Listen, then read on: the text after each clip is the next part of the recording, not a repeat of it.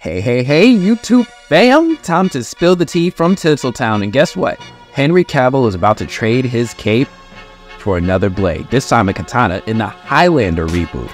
Yep, Superman is going full on samurai on us. This is gonna be new. Can you picture Cavill rocking, you know, a Highlander sword like a katana?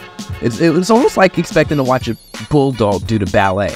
And let me tell you, Cavill's commitment to this role is as solid as his jawline. And that's saying something. His dedication is sharper than a Ginsu knife at an infomercial.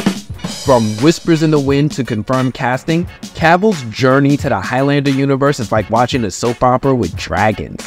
The drama, the suspense, it's more intense than a Kardashian family feud.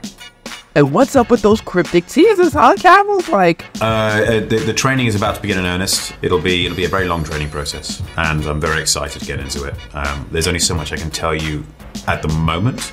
I want to keep everything under wraps for as long as possible, and uh, Warhammer is is progressing very well. We are big things are happening, and we are very excited. but you know it's gonna be a serious ride. I mean, seriously, it's a roller coaster or a sword fight, Henry. Let us know.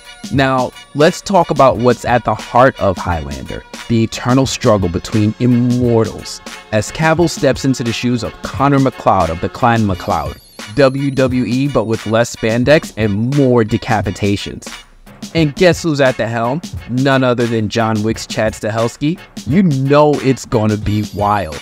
So buckle up fam with Cavill leading the charge, Highlander 2.0 is about to slay the box office, swords, immortals, and Cavill. What more could we ask for?